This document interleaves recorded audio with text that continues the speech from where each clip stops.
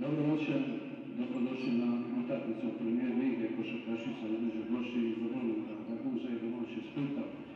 Za Gošće nastupaju kapetan broj 7 Karlo Miloda, 3 Dea Pević, 4 Lina Krinić, 8 Andreja Milat, 9 Lea Hajdin, 10 Nima Todorović, 12 Nima Totić, 14 Marija Brozić, 15 Ilma Šaropić, 54 Jennifer Reni Klešak, 77 Ena Mostorović, trener ekipe Cvetana Matić.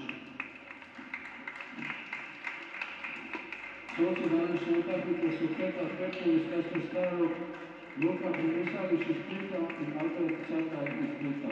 Opunomoćenik je Željko Nikolić iz Splita. Za Broj 6, kapetan Teatorović, 5, Lara Telavica, 7, Bruna Kornjak, 8, Antonina Bodrožić, 10, Marija Gordova, 11, Nikolina Tović, 12, Nikolina Dulić, 13, Emanuela Vrgoć, 14, Katarina Ljušić i 15, Anđela Perković. Trener ekipe Goran Grbin.